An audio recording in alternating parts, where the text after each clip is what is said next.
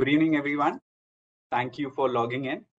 Uh, as you are aware, normally we do uh, our monthly calls, and uh, this is a platform where we normally try to interact, engage with you, and uh, whatever views we have, uh, we try to exchange that. Whatever is the recommendation from our side, we try to exchange that.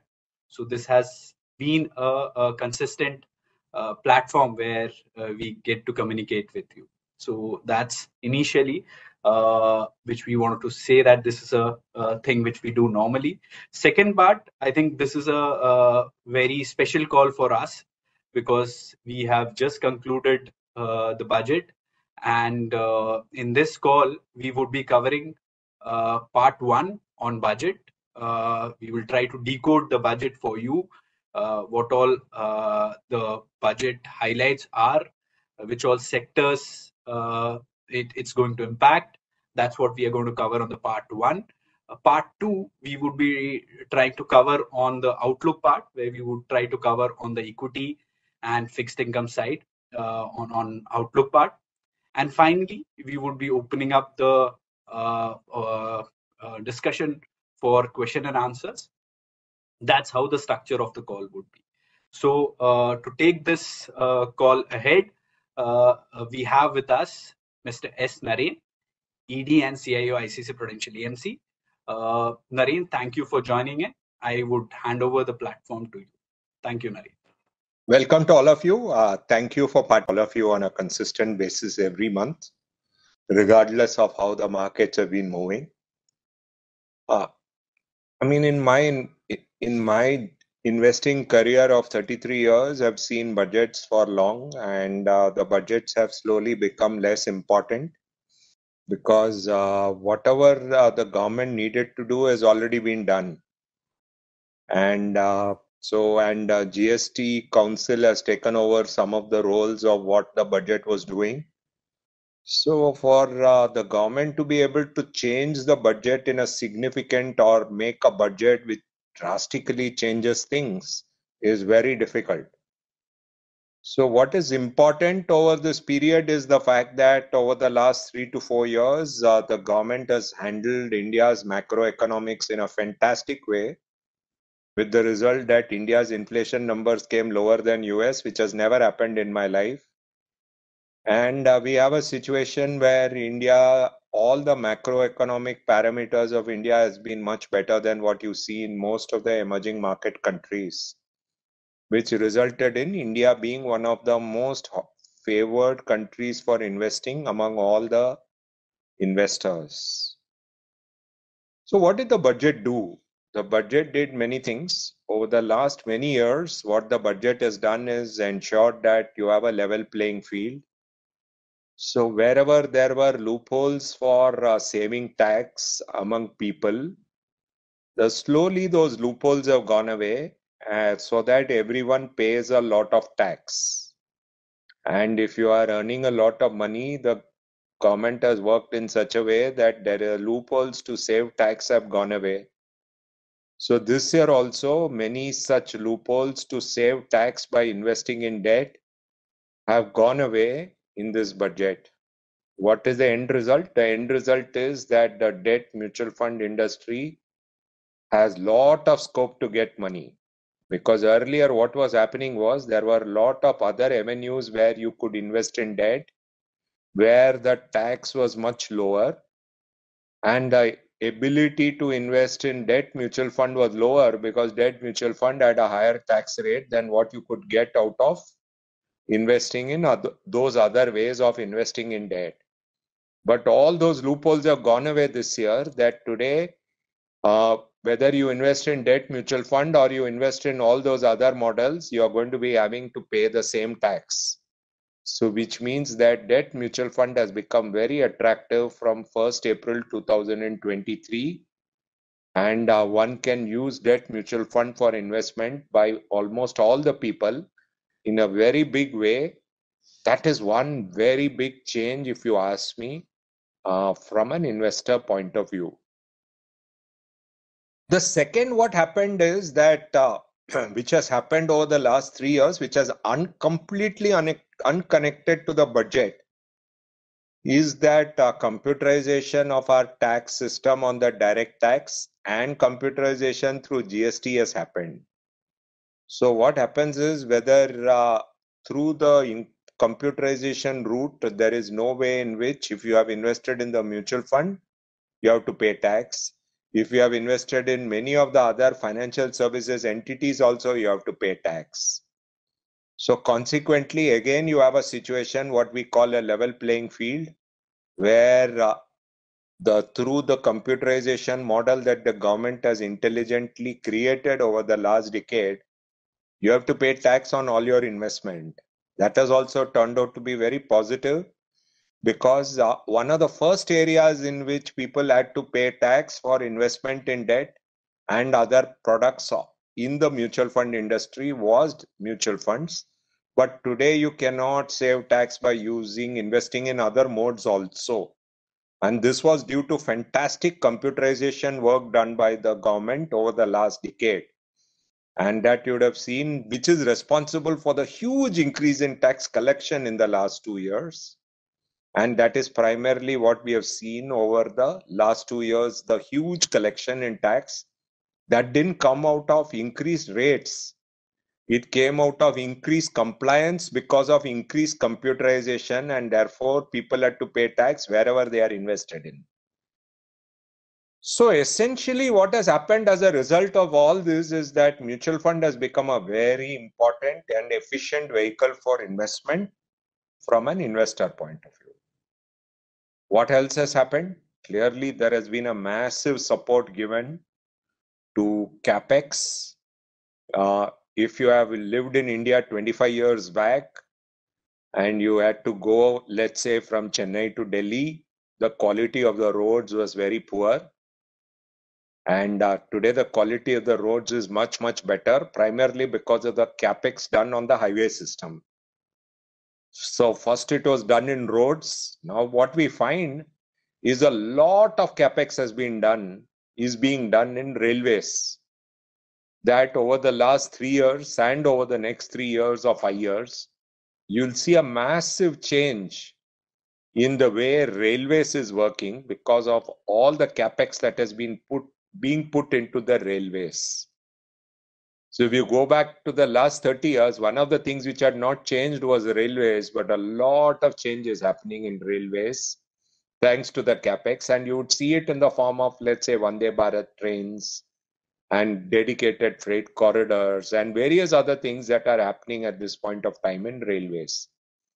So there's a massive fillip that is being given to the railway system on the capex side. At the same time, the government is very conscious of the support that has to be given to the poor.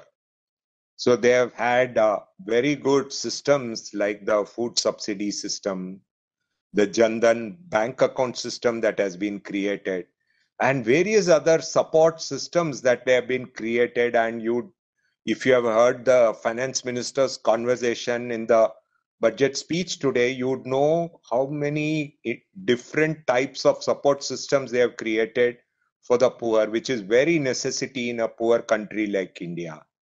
That is the third thing that they have done over a period of time. What is the impact which we are going to see in all this? We are going to see continued growth, and uh, we have we have always had good growth. We will continue to see growth at the same time, we are not going to see very high inflation. We are going to see inflation, but that inflation will be always within that, you know, six, seven percent range. That is what we are going to see. We are neither going to see a situation where uh, currency is going to go completely haywire or something like that. That is also not going to happen. So every indicator of uh, financial economics has been properly, carefully maintained. So is there any problem in the budget? The answer is a total no. Is there anything which can be changed in the budget to make a what we call a dream budget? It was not possible. Why? Because 6.4% fiscal deficit for the central government and uh, 3, 3 to 3.5% fiscal deficit for the state government. That combination of 6.4 and 3 meant that there was no way in which you could have given big tax concessions to all the people. So what the government did was increase the new income tax regime and try to push people into the new income tax regime by giving them lot of benefits and uh, giving them that benefit but uh, you know you don't get any exemptions and that is the model that they have followed and ensured that all the lot of small methods that people were using to save tax are slowly being removed and that is absolutely the right model to do if you're sitting in the government that is the way it has to be done and every step that has been done by the government has been thought through like they were seeing that there was too much of remittances in the LRS. So what they did was they increased the tax collected at source on LRS. Remember, it's not a tax. But they only said if you are willing to remit money to, let's say, take out money out of the country, you have to do tax collected at source.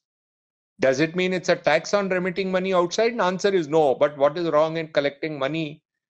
But what is wrong in ensuring that anyone who is remitting money outside is actually having a TDS. So what is wrong with that? That's a superb step that the government has done. Like that, they have done a lot of such small steps, which are all logical steps, in our opinion, to have a growth in the economy over the next few years. At the same time, ensuring that the government continues to collect revenue. And that is the framework that is there. So what does this mean for the market? what has been the problem of the market? The problem of the market has been inverse. Things have been very good. So India was one of the best performing markets. There was no market which performed as well as India. What happened was India turned out to be having the highest valuations. So the problem was nothing. There was no problem. The problem was India was the best performing market. So India's valuation turned out to be the highest all other markets did very badly. For example, China, Taiwan, Korea, etc., even US NASDAQ. So what happened was that at some point of time, you know, when markets do very well, they have to do badly. It's like, you know, real estate did very well for some period of time. So it did badly. Like that Indian market did very well for a period of time. So it had to do badly. So the last three, four months, that process is on whereby India is underperforming China or Taiwan significantly, primarily or NASDAQ significantly, primarily because India had done so well before that. So India was trading at a premium of 70% against the global valuation. I think it's now come to 30% right now, but it is still trading at a premium of 30% to global valuation.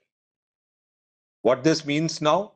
that the downside risk to Indian markets have now come down. Earlier, you had a much higher downside risk. That downside risk has actually come down. As and when the portfolios of uh, January 31st are released, what you will realize is that the equity allocation in the dynamic asset allocation scheme like balanced advantage, the equity allocation has gone up. Because the fact is that right now the downside risk to the equity market has actually gone down and uh, that is primarily because the valuation has cooled off after in the last three to four months, particularly against all the Asian markets and against US uh, Nasdaq at this point of time. Is there scope for some more valuation moderation? The answer is yes. Will it happen? These things no one can answer. If you had asked me four months back, will in India underperform China 40%? I would have told you no way, because I never thought it will underperform China 40%. So if you ask me today, will it underperform some more so that the valuation premium goes away? I'll tell you, I don't know. I don't think so, but I, I can go completely wrong. So what we did in our January presentation, as you know, is we had recommended safe strategy because of this overvaluation of India which was recommending SIP, recommending STP, which is recommending asset allocation schemes for lump sum, recommending fixed income scheme for lump sum, and keeping some money in equity saving and equity arbitrage to park money for a correction which you can use at a different point of time. Is there any change in strategy there? Certainly not. The same strategy holds good. What has changed is that the downside is likely to be lower today compared to what it was possible in December. And that is what where we are. Was the budget responsible for change in view? Answer is no. It was a very positive budget. It was in line with our view. There is nothing wrong with that view except that it makes debt investment from 1st April 2023 or 30th March 2023 very interesting and much much better compared to all the other areas where others could use to actually save tax those methods were not better but those are all very very easy ways to save tax at this point of time. So which are the areas where uh, the budget is very positive at this point of time?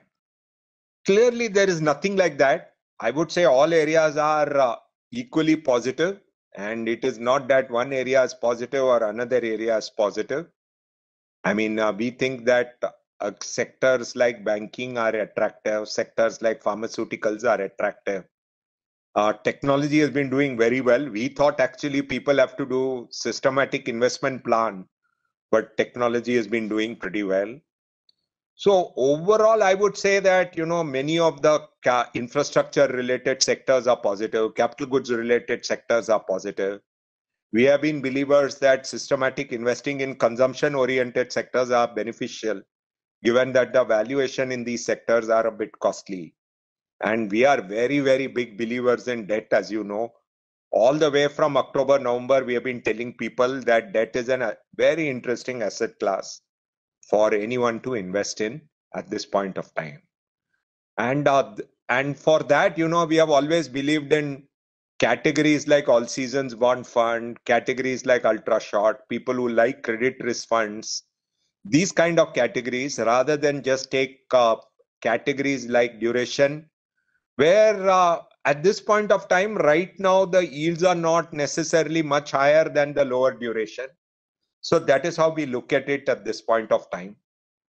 So overall uh, we continue to think uh, debt is a great asset class asset allocation is a great asset class and systematic investing is a great asset class at this point of time. So from a performance point of view, currently our performance is has been very good in many schemes. Do we believe that we can have periodic setbacks in performance? We do believe in that. But right now, our performance is very good across schemes. Why did this happen? We followed a certain process, and that process has helped us in many of the schemes. But uh, we would like to reiterate what SEBI says past performance is not equal to future.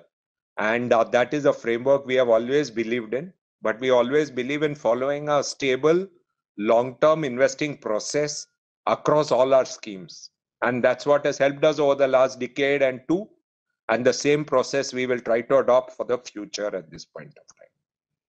So to sum up uh, we think debt is a great asset class. We think asset allocation is a debt asset class. We can always consider many interesting strategies, uh, whether it is the thematic advantage area, the multi-asset area has been the area where we focused on in our yearly outlook. The reason being that we believe very strongly that this is a year where debt, gold, silver, REIT, InvIT, equity, everything looks interesting. And multi-asset and passive multi-asset fund of fund are two ways of looking at all the asset classes. And uh, when you look at individual asset classes, as you as we have been repeatedly saying, equity is not dirt cheap. Gold and silver, we were thinking we would be very positive, but every day those asset classes have been going up. So investing in a standalone gold fund or a standalone silver fund as it is because the funds have done too well. Like for example, in silver, the customs duty increases added to the returns. So we have always we are right now concerned that investing standalone has this problem that the returns have come too much. And we are always uncomfortable when returns come too much. Whereas if you are investing in a multi-asset fund you don't get one asset class. You get gold you get silver you get REIT you get InvIT you get debt and you get equity large mid small. So that's why we prefer that kind of a fund where we are not dependent on only gold and silver. Or we like passive multi-asset which also has all the categories debt, equity, gold and go of global ETFs. So it's a very diversified kind of fund. So at least one will do well, another will do badly. And uh, that is how we look at it from a different point of view. So this is the kind of framework we are in. So debt, equity, as a debt, asset allocation, multi-asset, equity savings, which is a which has a higher, uh, I mean, uh, riskometer, but interesting product is what we look at at this point of time. So broadly, we are very happy with the budget, uh, although the budget is not as important as the past. So thank you all and happy to take up questions. Naren, I have already got a few questions, so I'm just picking one by one. Uh, Naren, the first question is uh, with recent correction, and as you have highlighted, it was a positive budget. When uh, when would you be giving a positive or a table thumping call on equities?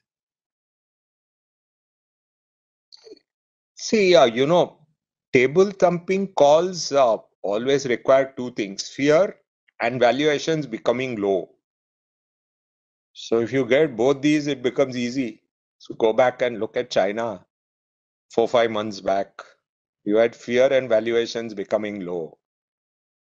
So, that is when table thumping calls come.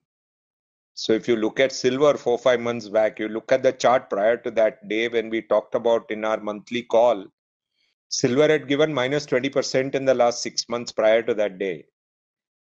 So it was, of course, it's not such an important asset class. So people only can, I can only tell you it was minus 20% prior to that day. But fear and valuation becoming low is the combination which results in a thumping the table asset class. So whenever you see fear and valuation becoming low, you will see that thumping the table asset class. If you see valuation alone becoming cheap, it will be a buy. When you see fear and table the and uh, valuation becoming at, attractive, then it becomes a thumping the table asset class. Thank you, Naren. Uh, Naren, there's a next question which is on what are the risks uh, you see when you compare the current year with the year 2018 uh, more or less the background uh, looks similar. Do you think the risk uh, similar to what we have been through in 2018 kind of a phase? Interesting question. In 2018 you had a real estate market which was frozen. You had multiple nbfcs which were frozen I don't think we have that situation today. In return, we have an equity market which may be a bit more overvalued. That is the situation at this point of time. So this is where we are. So, uh, so I think uh, I think it's slightly different. I think the economy is in better shape than 2018 and with lesser downside risks uh, in terms of economic problems but in terms of valuation maybe we have as much problem as we have in 2018 so that's why the solution to all this is uh, multi-asset or uh, asset allocation kind of frameworks. So that the challenge of uh, valuations can be handled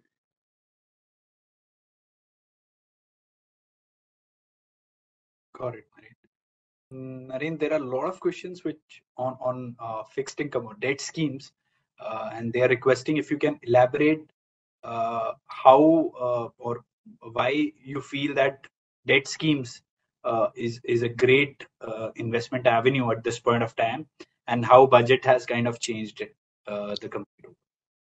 I won't be in a position to explain it in great depth but I will just uh, highlight uh, some of the points. So if you look at, uh, there is something, there is a proposal on a market link debenture, which you can read about.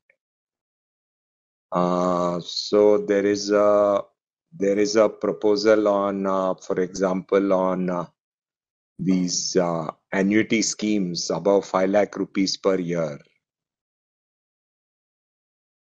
So these kind of things that are there, you know, they all uh, were giving uh, lower taxation for investment in debt in a way compared to mutual funds where the taxation rules were higher. Beyond that, I would not be in a position to talk about it. So, so I believe we have a level playing field now, and uh, that is how I look at it at this point of time. Sure, sure. Great. Uh, Naren, your view on investing in global markets, especially US market, would you recommend at this point of time investing in US markets? From thumping the table call, it has become a call similar. It's become a SIP call there, if you ask me. It was a thumping the table call sometime back because valuation was cheap and uh, there was fear. Now that fear is gone away, you look at the way markets are going up. So you have today a situation when fear and valuations are cheap. You have a thumping the table call. Now you have uh, fear is slowly going away. So I'd say this is right now a period of SIP again. Got it. Got it. Sure. Sure. Uh, yes. Uh, uh, Naren, there is another sector or theme specific call again on uh, how do we deploy, especially in sectors like technology, uh, which we have seen kind of a correction. Can we again start recommending aggressively in the technology space? Your views? We've been recommending SIP there, and that is the view we have. Sure.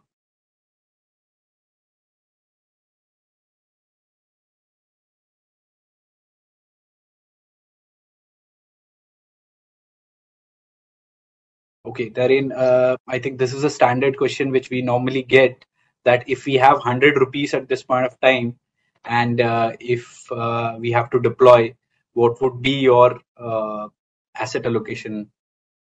It's it's not a straightforward question, but you know, based on of our safe strategy, you should be overweight fixed income, you should be overweight asset allocation funds, uh, you should be overweight multi-asset funds and you should be overweight SIPs and STPs. That's what our model says.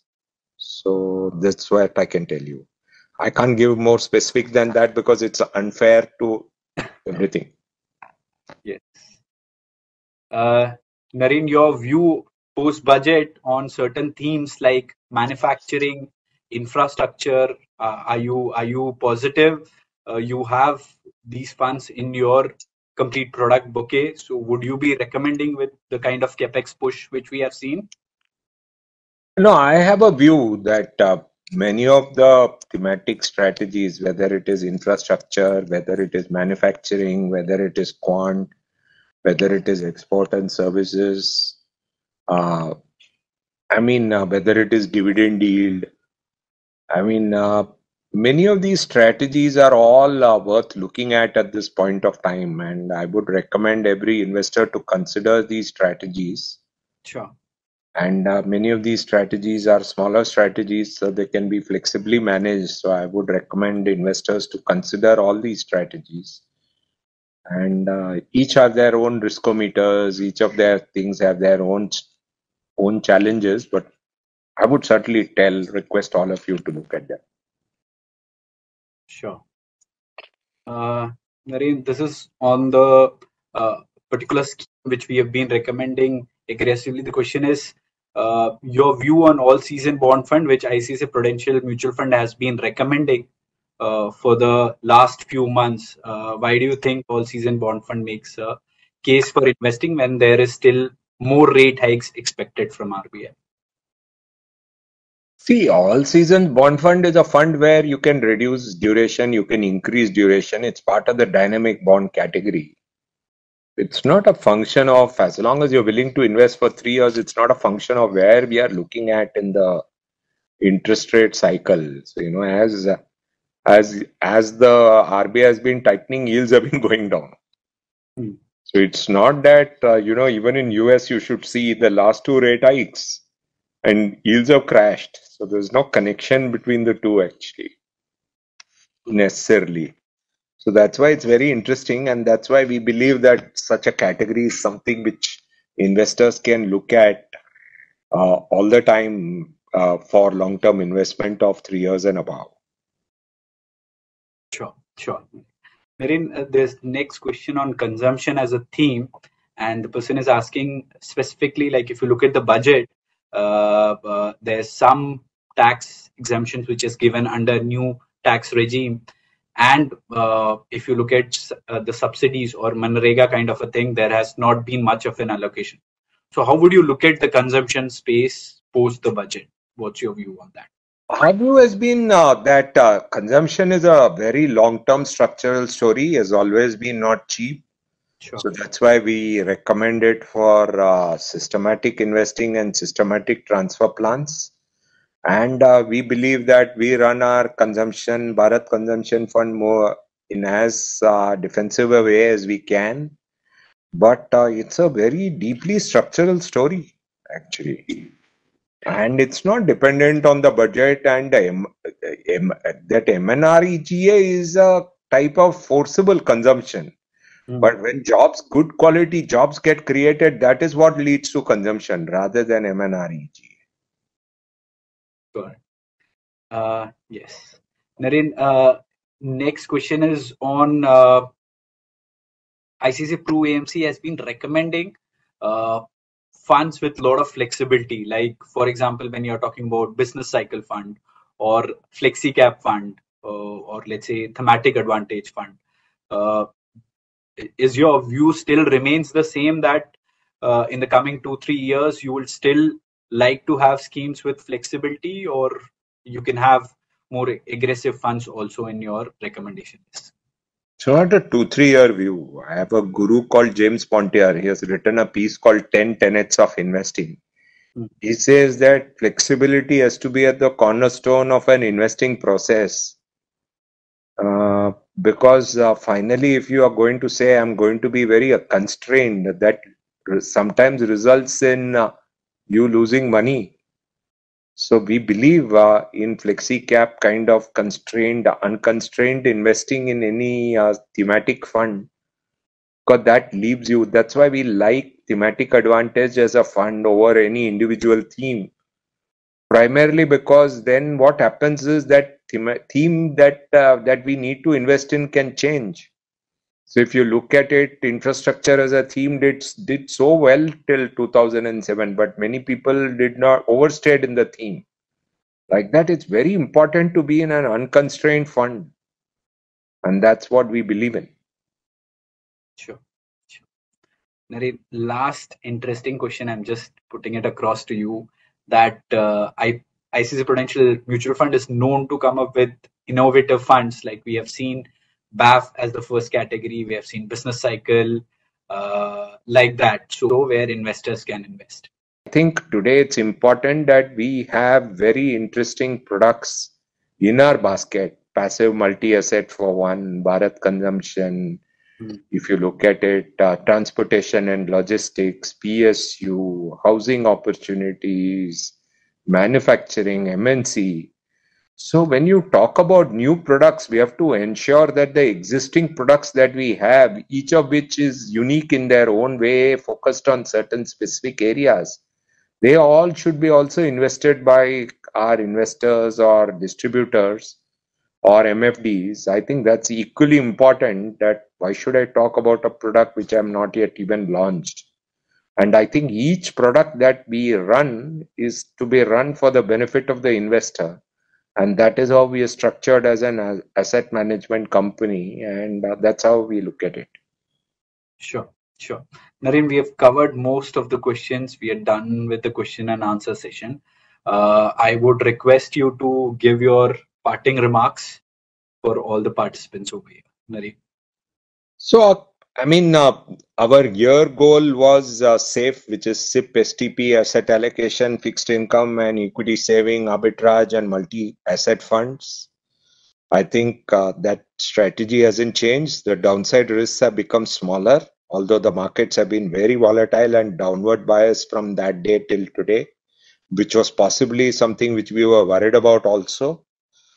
I think uh, the budget has been a fantastic budget. It was exactly in tune with what we believe. There's no market reaction has got nothing to do with the budget. And uh, we think that uh, the long-term outlook continues to be very nice, provided we follow the safe strategy as a way of investing. And uh, look forward to looking at each of our individual products. Each of our individual products have our individual uh, goals, and that's how we see it. So thank you all for supporting us in this endeavor to manage other people's money. And uh, we hope uh, that we manage it well in on a continuing basis. Thank you all. Thank you, Naren. Thank you everyone for joining in. Uh, and uh, we would like to close this session right over here. Once again, on behalf of ICICI Prudential AMC Limited, thank you for joining us. Thank you. We'll close the call over here. Thank you.